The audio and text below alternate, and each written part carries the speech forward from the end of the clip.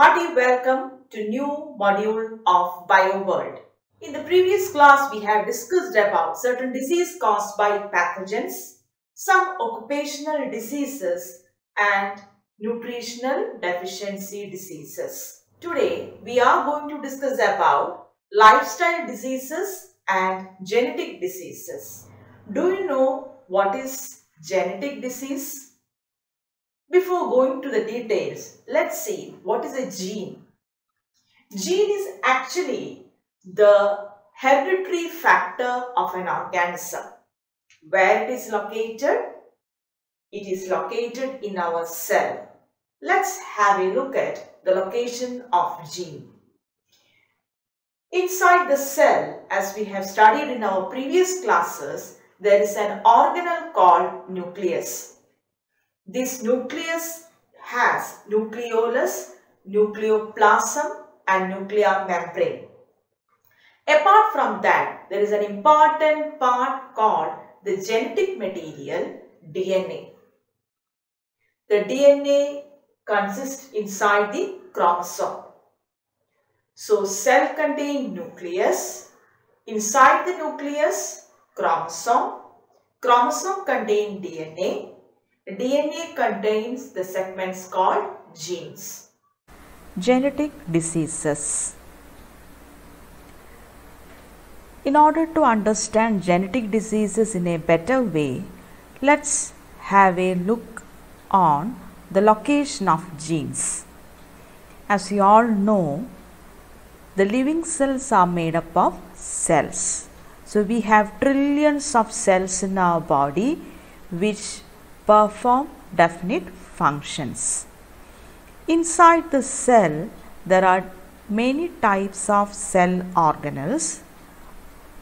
The most important one which act as cell center is the nucleus. So here you can see the cell center which is known as the nucleus. Inside the nucleus, there are thin fiber-like structure called chromatin reticulum. During cell division, they condense to form chromosome. When we have a closer look of these chromosome, these chromosomes are made up of fiber-like structures called DNA. The DNA are made up of segments of genes. So, genes are a set of instructions that determine what the organism is like, its appearance, how it survives and how it behaves in its environment. So, they determine both external and internal feature of an organism.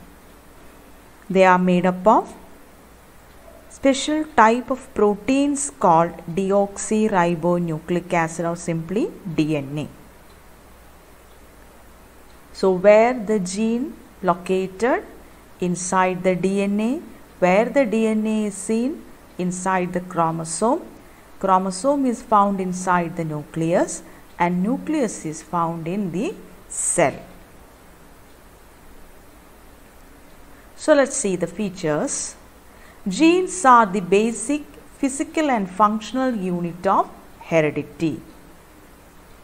They are made up of DNA they are found inside chromosome in the cell. It contains data needed to build and maintain cells and pass genetic information to the next generation. So let's have a recap of the location of gene. As we discussed earlier, the human body is made up of different types of cells when we have a closer look inside the human cell, the major cell organelle which is known as cell center is the nucleus. Inside the nucleus, the genetic information is enclosed in chromosome. This chromosome has numerous filament-like structure called DNA. The segment of DNA is called gene. So, genes are the basic functional unit which determine the character or the external as well as internal features of the organism. So, any defect in the gene may result in genetic diseases. So, let us see what is genetic disease. The defects in the genes that control the cellular activities cause genetic diseases. For example, hemophilia, sickle cell anemia. So, how the genetic disease cause? The defects in the genes that control the cellular activities result in genetic diseases. The some examples here we are going to discuss is hemophilia and sickle cell anemia. Now let's see what is hemophilia. Usually the blood clots with the help of plasma proteins. But when the genes that control the protein synthesis become defective, it results in a condition called hemophilia. So usually blood clotting is done with the help of plasma protein. So when the genes that control the protein synthesis become defective. So those genes which are actively participating in blood clotting become defective or non-functional, it results in a disease called hemophilia. The symptoms include excess loss of blood even through minor wounds. So usually when a, a wound occur, it will uh, clot or the clotting will shown within few seconds uh, depending on the uh, intensity or the depth of the wound. It will clot within a seconds or extend up to a few minutes. But if the blood won't clot after a few minutes that indicates the hemophilia. Deficient protein can be injected artificially to acquire temporary relief. So such people have to take care more in order to avoid wounds and injuries. Complete cure is not possible since it is a genetic disease. So what is hemophilia? When the genes that control protein synthesis become defective. Which protein? Protein which helps in blood clotting become defective that results in hemophilia. And what is the symptom? Excess blood loss happen even through minor wounds. And there is a temporary relief is there. Uh, injecting the particular protein artificially can save the life of the person but all the time it's not possible. So complete cure is not possible. Living with hemophilia it is possible to live with hemophilia and manage the condition with following tips hemophiliacs should avoid physical activity that cause injury and resultant bleeding. So they should be very care uh, in order to prevent injuries and wounds. Avoiding blood thinning medications such as warfarin and heparin. So medicine should be uh, consumed only with the prescription of doctor otherwise it may affects the blood clotting mechanism it is best to avoid over the counter medicines like aspirin and ibuprofen. So these are the painkillers we usually use in our daily life without the prescription of doctors. So such people must be very cautious. They won't take these type of painkillers since it affects their body. Clean your teeth and gums thoroughly Get tips from your dentist on how to do this without making the gums bleed. So as I said earlier, even a minor uh, bleeding may cause the uh, life in danger. Get tested regularly for blood infections and get the doctor's advice on hepatitis A and B vaccination. So these are certain precautions they have to taken care. Hemophilia sometimes referred to as royal disease because it is affected the royal families of England, Germany, Russia and Spain in 19th and 20th centuries. Queen Victoria of England who ruled from 1837 to 1901 is believed to have been the carrier of hemophilia. So it is known as royal disease. Hemophilia is also known as royal disease. Next genetic disease is sickle cell anemia. RBC is usually by biconvex in shape but due to some genetic defects the shape of RBC got transformed. They got sickle shaped. So normal RBC shape got transformed into sickle shape. In the second picture you can see the microscopic view of a blood smear. Here you can see the blood cells RBC as round shaped cells in between small WBCs with dark or purple color can seen and some of the RBC got transformed into sharp shaped ends that is known as sickle shape. So sickle is a type of knife which we use for grass cutting and all. So the sickle shaped RBC is due to some genetic defects. So normally inside the blood vessels RBCs are having a uh, biconvex shape uh, but due to genetic defects the shape get transformed into sickle shape. So let's see what is sickle cell anemia. The structure of hemoglobin changes due to deformities in sequencing of amino acid. As you know hemoglobin is a red pigment seen in RBC which helps in transport of gases. Basically they are proteins. So proteins the basic components or the building blocks of proteins are amino acids. So what happened to this amino acid? The sequence of amino acid, the arrangement of amino acid has some alteration which result in a, a structural change of the hemoglobin and this hemoglobin cause the deformity of the shape of RBC. So as a result what happens? The shape of RBC change to sickle shape and decrease the oxygen carrying capacity. The sickle shaped RBCs get collected in the blood vessels and block the flow of blood in them.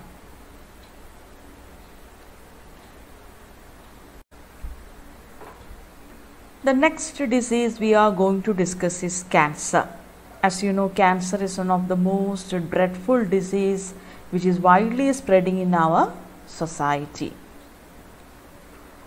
Cancer is caused by uncontrolled divisions of cells and their spread to other tissues. So as you know, cell divides usually by mitosis. We have studied in our ninth standard, isn't it? So during the cell division, the cell has a control over the division. But during cancer, what happens is that the normal cell get transformed into cancerous cells when the control system of the cell division fails. So when the system control fails, that result the normal cells get transformed into cancerous cells. So normally cell divides using mitotic division. So a single cell divide into 2, 2 again divided into 4 like that and they start growing and begin to perform its function. But during cancer what happens is that the cell undergo division in a disorder way or in an irregular way. Here you can see the difference between the cell division in a normal cell as well as a cancerous cell. So in the first line you can see a cell divides normally through the process of mitosis. After division they grow in size, enlarge in size and they start to perform its function. But what happens to the cells that control, that, that lose the control for mechanism of cell division many cells that continue to grow and divide which vary in shape and size and the nucleus is larger and darker than the normal cell and this abnormal number of chromosome arranged in disorganized fashion. And finally, the cluster of cells without a boundary will be formed and later they spread to other parts too. So, the uncontrolled division of cell which spread from one part of the body to the next is known as cancer. So here you can see an array of normal cell and a cluster of cancerous cell. These cancerous cells are together known as tumors. So tumors are of different types.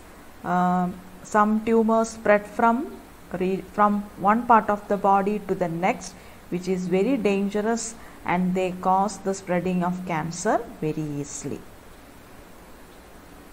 Now let's find out the reason for cancer. Environmental factors, smoking, radiations, for example UV radiations, X-ray, etc. Then viruses, hereditary factors all contribute to cancer. How can we diagnose the cancer? So many sophisticated technologies are make use for the diagnosing the disease in the early stage itself. CT scan, bone scan, MRI, ultrasound scan, X-ray, biopsy, blood test are the major diagnosing method. Diagnosing means how to find out the cancer. Now, let's move on to the various treatments related to cancer. Surgery, that is the removal of the cancerous cells. As I said earlier, it's a lump of tissues or a tumor like structure which can be removed through surgical operations that is surgery. Next one radiotherapy. Intense radiations are used for burning and destroying the cancerous cells. Chemotherapy quite common nowadays. Strong chemicals are used in order to kill the cancerous cells. So chemotherapy uses strong chemicals to kill the cancerous cells. Next one, hormone therapy. Some types of cancer are fueled by your body's hormones. For example, breast cancer, prostate cancer. So removing those hormones from the body or blocking their effects may cause cancer cells to stop growing. Next one, bone marrow transplantation. A bone marrow transplant allows uh, the doctor to use high doses of chemotherapy to treat the cancer. It may also be used to replace the diseased bone marrow. Then next one is immunotherapy.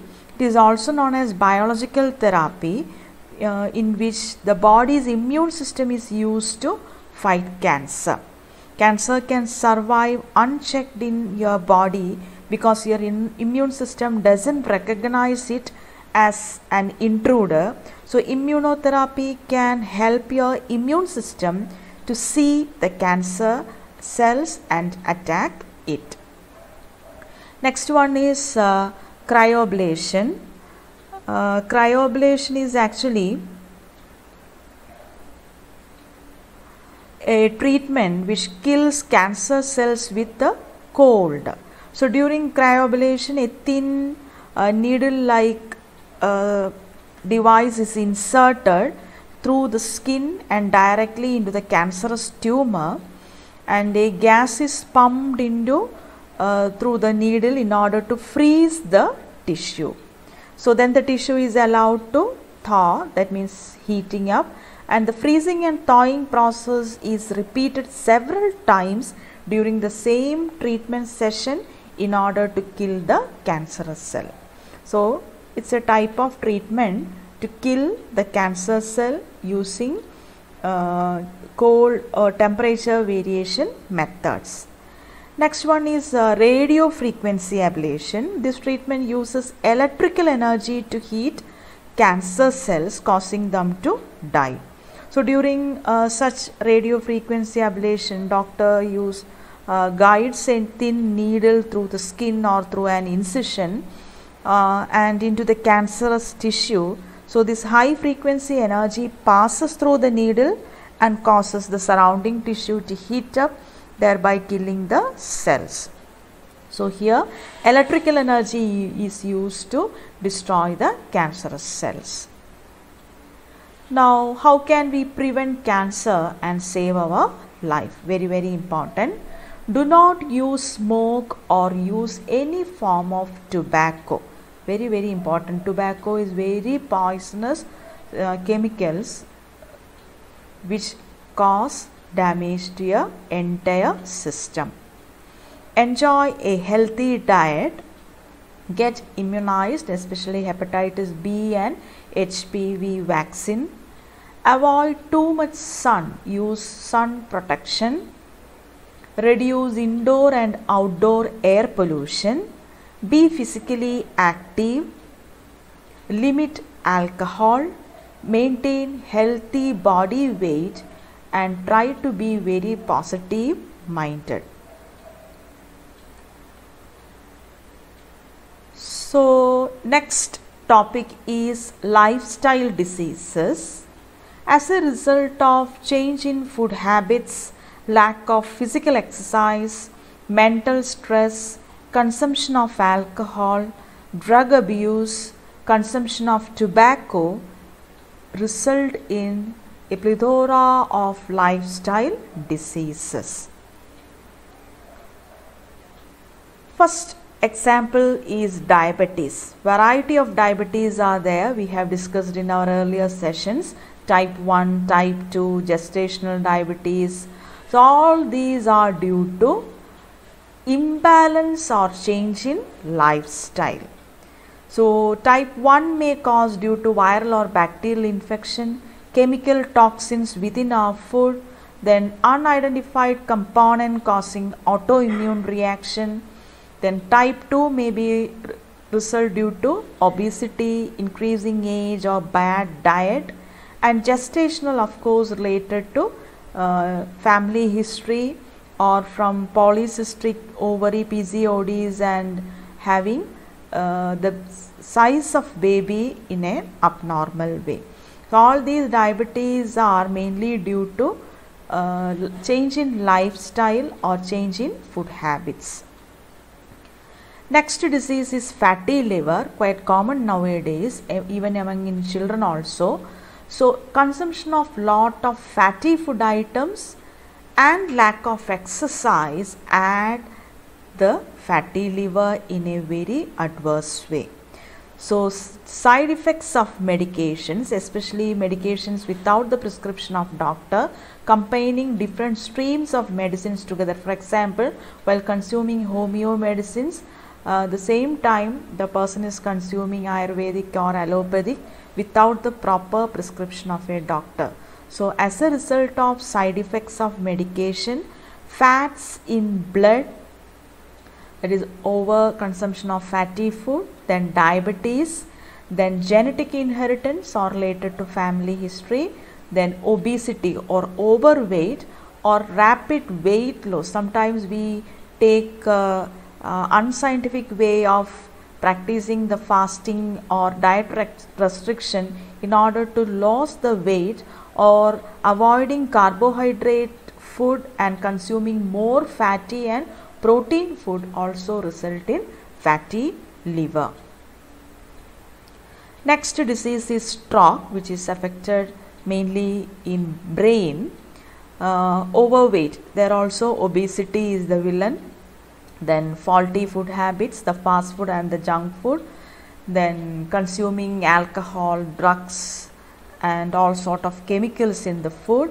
Then diabetes, genetic reasons all add up the cholesterol level in our body which badly affects our brain resulting in a condition called stroke.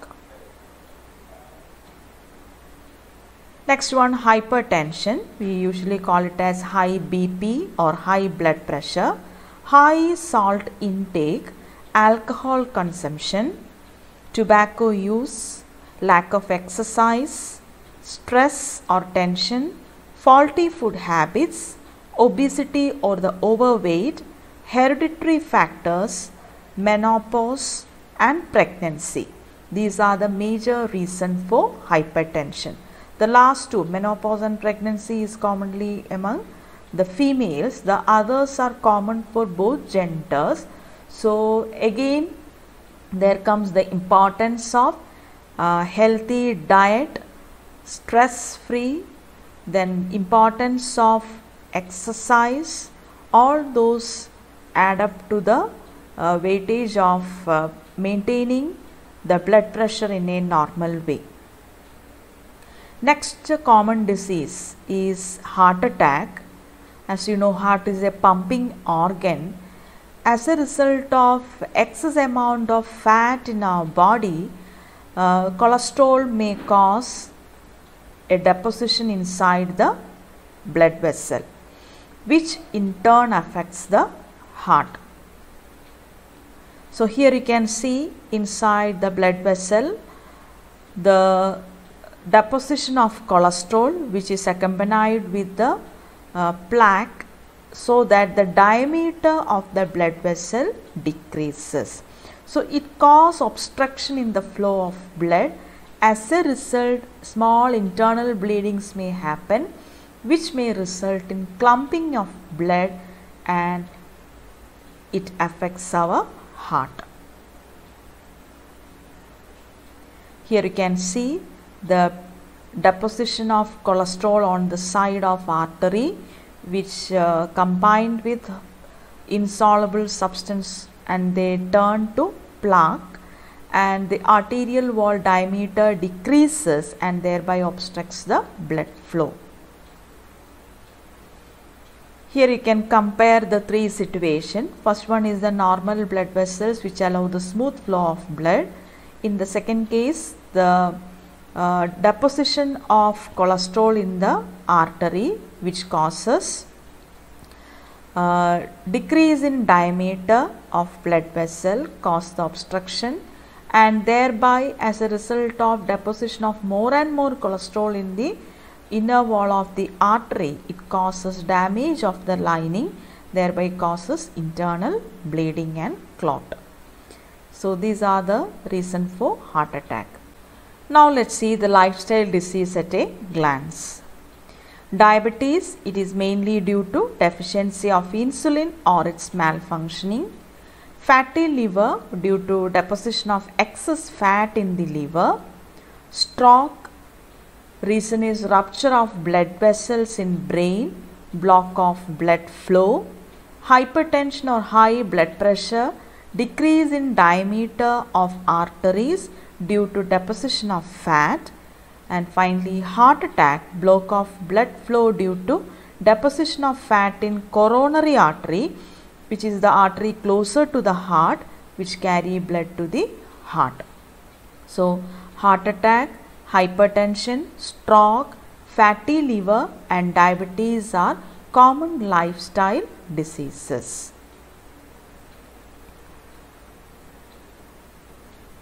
Now let's see the dreadful effects of smoking. Smoking can cause cancer almost anywhere in your body.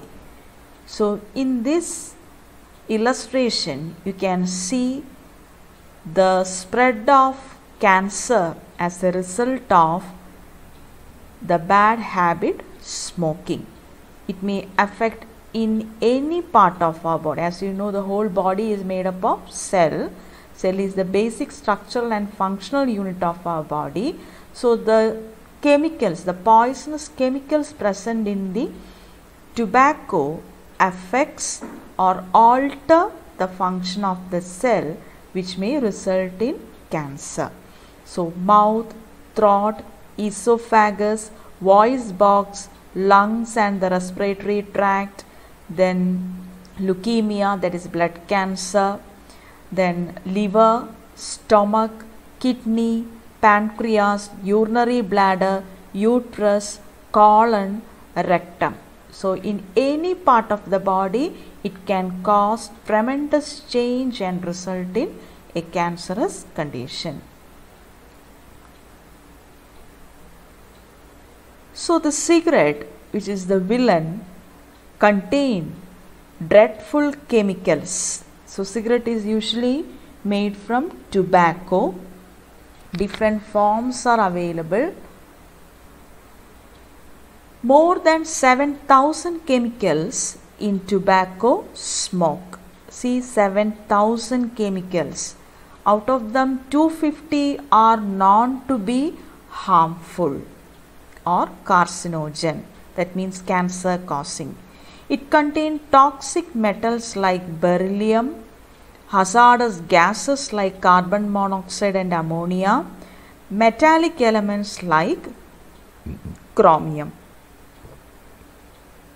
Now let's see the health hazards of cigarette smoking affects the three major organs brain which result in stroke and addiction to nicotine Addiction means a temptation to use it again and again, and finally, the person cannot survive without it. So, addiction to nicotine and stroke are the two effects of smoking to the organ brain. Coming to lungs or the respiratory system, lung cancer, bronchitis, and emphysema. So, these are the various disorders related to respiratory system then how it affects our heart it, it leads to hypertension loss of elasticity of arteries decrease in functional efficiency of the heart. Now let's move to another topic animal diseases. Pathogens also affects animals and cause various diseases. For example bacteria causes disease in animals like anthrax and inflammation of udder, usually common among cattle. And virus cause another disease in cattle called foot and mouth disease. So, two pathogens which is common in animal world and cause certain diseases. Bacteria causes anthrax and inflammation of udder whereas virus cause foot and mouth disease. Moving to the next topic that is plant disease. Bacteria causes disease in paddy and brinjal. For example, blight disease in paddy and wilt disease in brinjal.